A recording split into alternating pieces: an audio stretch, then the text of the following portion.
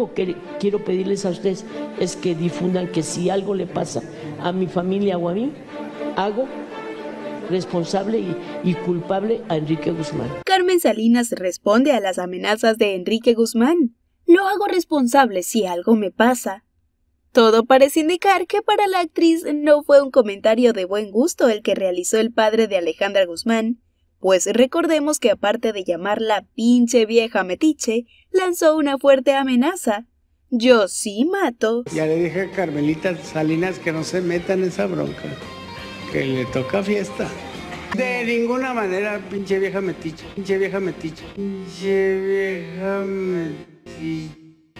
Ante tales señalamientos, Carmelita no los podía dejar pasar por alto, ya que considera que el intérprete de la plaga es un hombre agresivo y peligroso. Es un hombre muy peligroso, muy peligroso. Asimismo, la primerísima actriz, horas después de las declaraciones del ídolo de México, hizo un llamado a las autoridades para hacer responsable al cantante de cualquier cosa que le pudiera pasar a ella y a su familia por las advertencias que lanzó en un programa de televisión. Hago responsable al señor Enrique Guzmán de lo que le pase a mi familia, a mi hija, a mi yerno Manuelito, a mi nuera, a mis nietecitas, a mis, mis, nietecitos.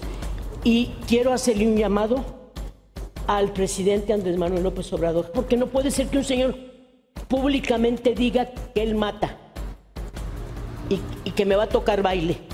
Y en el, en el argot de los narcos tocarle baile es la voy a matar. No conforme con dichas aseveraciones Salinas, rememoró un episodio de hace un tiempo atrás en donde supuestamente el abuelo de Frida Sofía baleó la casa de un periodista. Pregúntenle a Gloria Luz González de Salmón la gran crítica de teatro que no sé dónde esté, pero vive, la vez que fue el señor y le balació la casa al gran periodista Agustín Salmón, que en paz descanse. Él, él mata. Y yo sí le, tengo mucho miedo.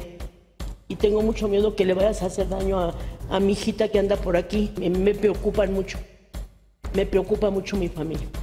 De igual forma, comentó que si don Enrique fue malo con la señora Silvia Pinal, ¿Qué podría esperar de ella? Porque además, hasta en la vida de la señora Pinal, lo presentaron como un golpeador de la señora, las golpizas que le ponía a la señora.